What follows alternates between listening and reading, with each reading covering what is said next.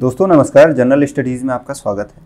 आज के लेक्चर में हम कमीशंस के बारे में अध्ययन करेंगे, जो आयोग और संस्थाएँ भारत की प्रमुख रूप से कार्यरत हैं इस समय, उनके बारे में हम जानेंगे। तो चलिए शुरू करते हैं। सबसे पहले हम इनके टाइप्स के बारे में जान लेते हैं, कितने प्रकार के टाइप्स होते हैं, किस तरह की संस्थाएँ होती हैं। तो इसमें पहला आता है कॉन्स्टिट्यूशनल कॉन्स्टिट्यूशनल या संवैधानिक संस्थाएँ वह होती हैं, जो कि संविधान द्वारा बनाई गई होती हैं। या संविधान द्वारा उसमें चेंज किया जाता है कि इस संस्था में वो संवैधानिक संस्थाएँ कहलाती हैं। दूसरा होता है स्टेचुअरी बॉडी जिसे हम सांविधिक संस्था कहते हैं। यह वह संस्थाएँ होती हैं जो कि पार्लियामेंट या संसद द्वारा एक्ट पारित करके, अधिनियम पारित करके बनाई जाती है। तीसरा होता है एडवाइजरी यह संस्थाएँ मुख्य रूप से मिनिस्ट्रीज़ और जो पार्टीज़ हैं, उनको एडवाइज या सलाह देने के लिए बनाई जाती हैं। इसे सलाहकारी संस्थाएँ कहते हैं। अगला है कोऑर्डिनेटिव बॉडी, यानी कि समन्वयकारी संस्था, यानी कि जब, यानी कि किसी स्पेशल इशू को रिजॉल्व करने के लिए यह संस्थाएँ बनाई जाती हैं, इसलिए इसको जो है समन्वयकारी संस्था कहते हैं। एग्जीक्यूटिव बॉडी एग्जीक्यूटिव बॉडी में अक्सर जो है प्रेसिडेंट वाइस प्रेसिडेंट और कैबिनेट के मिनिस्टर्स होते हैं, उनको एग्जीक्यूटिव बॉडी कहते हैं या कार्यकारी संस्था कहते हैं। नेक्स्ट है नेशनल लॉ कमीशन 1834 यानी कि राष्ट्रीय विधि आयोग 1834 इसकी स्थापना 1834 में की गई थी। Law commission of India is executive body and is constituted by a constitution of the government of India ministry of law and justice department of legal affairs यानी कि राष्ट्रीय विधि आयोग एक कार्यकारी संस्था है और इसकी स्थापना अठारह सौ चौंतीस में भारत सरकार के एक नोटिफिकेशन के द्वारा, यानी कि एक्ट के द्वारा की गई थी। जो कि डिपार्टमेंट ऑफ़ लीगल अफेयर्स के अंतर्गत कार्य करता है। इस समय बाईसवां विधि आयोग चल रहा है। ट्वेंटी सेकेंड कमीशन चल रहा है। इसके चेयरपर्सन या अध्यक्ष कौन है? ऋतु राज अवस्थी इसके करेंटली में अध्यक्ष हैं। नेक्स्ट है controller and auditor general of India इसकी स्थापना अठारह में की गई थी। भारत के नियंत्रक एवं महालेखा परीक्षक की। Controller and auditor general of India is the supreme audit institution यानी कि भारत में सबसे बड़ी लेखा जोखा जिसे कहते हैं, महालेखा की संस्था है।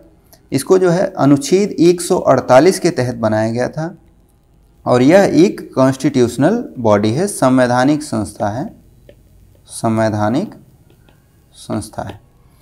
इसके अध्यक्ष कौन है? जीसी मुर्मू। का कंट्रोलर एंड ऑडिटर जनरल कौन है? जीसी मुर्मू। नेक्स्ट है यूनियन पब्लिक सर्विस कमीशन 1926 संघ लोक सेवा आयोग।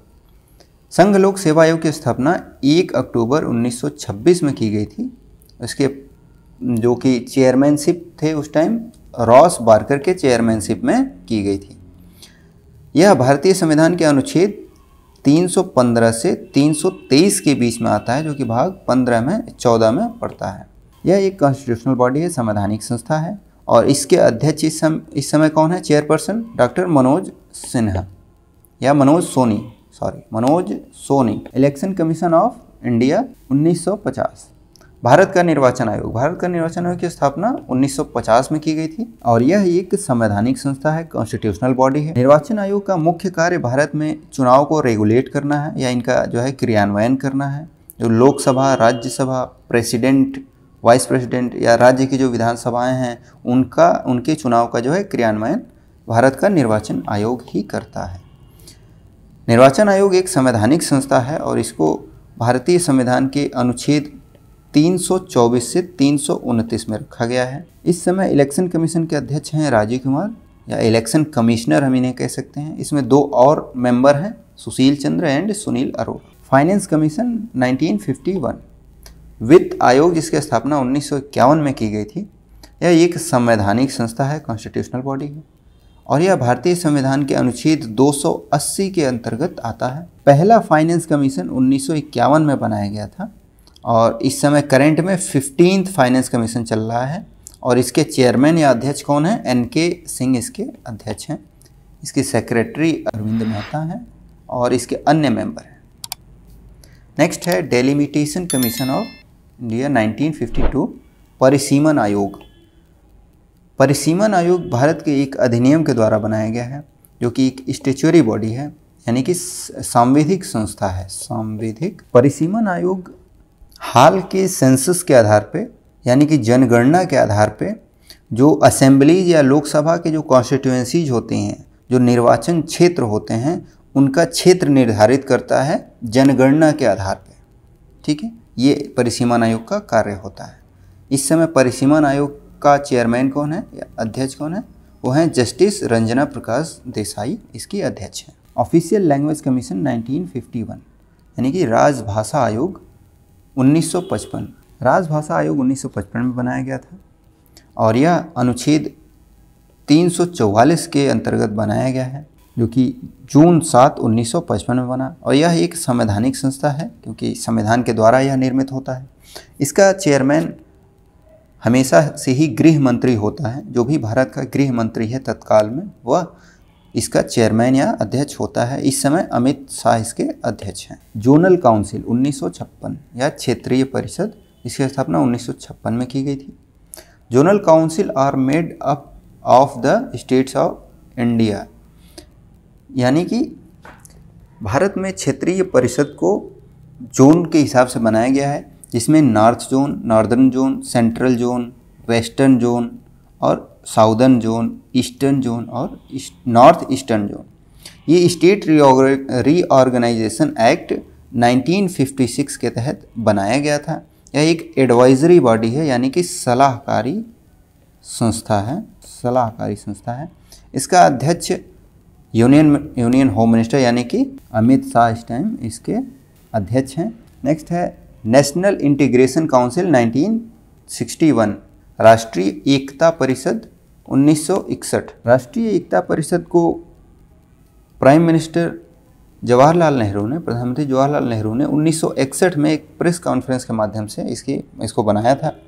और इसका मेन पर्पस था प्रॉब्लम्स को सॉल्व करना, जो कि भारत के अन्य क्षेत्रों में थी, जैसे कि जो अन्य भारत में कई राज्य हैं, उन क्षेत्रों को एक साथ संबद्ध करके साथ में चलाना, ये मेन इसका कार्य है और यह यह है कोऑपरेटिव बॉडी यानी कि समन्वयकारी संस्था है।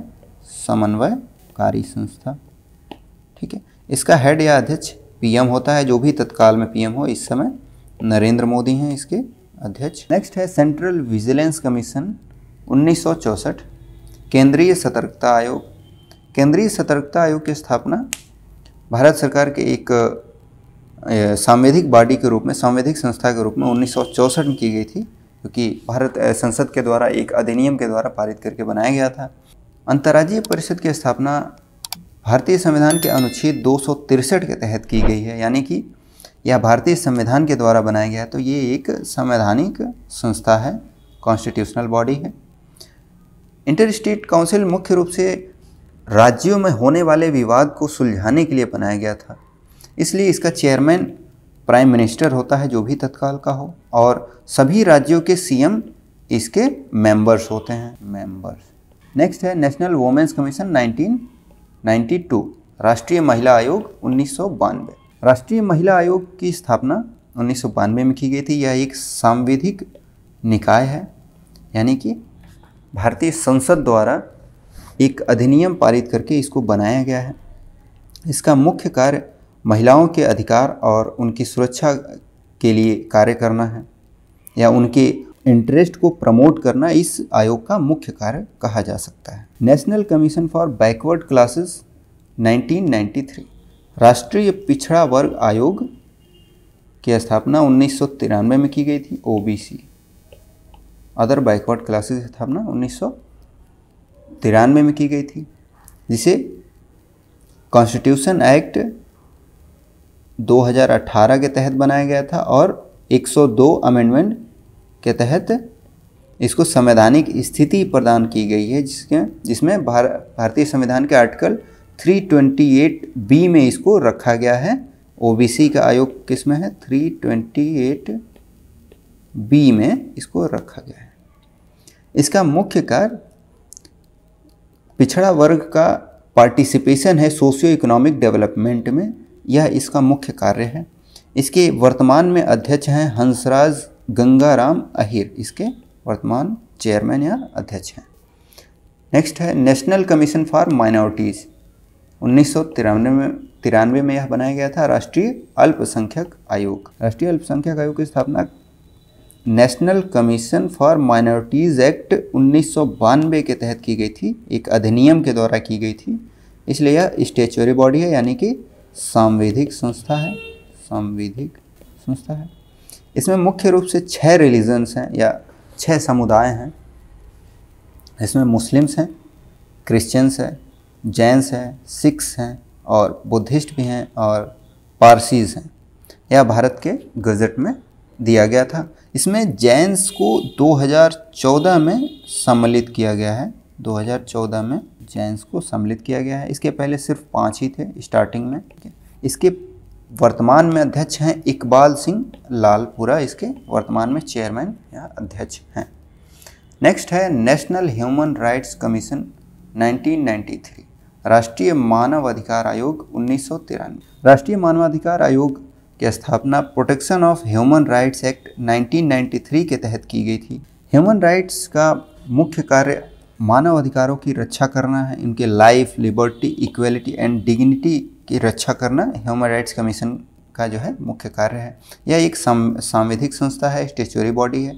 इसके अध्यक्ष हैं जस्टिस अरुण कुमार मिश्रा इसके अध्यक्ष हैं जस्टिस अरुण कुमार मिश्रा नेक्स्ट है national commission for S C S T यानी कि national commission for schedule caste and schedule tribe इसकी स्थापना की गई थी 2004 में, राष्ट्रीय अनुसूचित जाति और जनजाति आयोग की स्थापना इस आयोग की स्थापना एटी नाइन्थ अमेंडमेंट एक्ट 2003 के तहत की गई है, जो कि भारतीय संविधान के अनुच्छेद तीन ए में आता है एससी और एसटी यह एक संवैधानिक संस्था है कॉन्स्टिट्यूशनल बॉडी है। वर्तमान में अनुसूचित जनजाति यानी कि national commission for schedule tribe के अध्यक्ष हैं कुंभा मनोज कुमार। और अनुसूचित जनजाति यानी कि national commission for schedule caste के अध्यक्ष हैं विजय सांपला। नेक्स्ट है सेंट्रल इंफॉर्मेशन कमीशन 2005 यानी कि केंद्रीय सूचना आयोग 2000 2005 जिसे हम सूचना आयोग भी कहते हैं।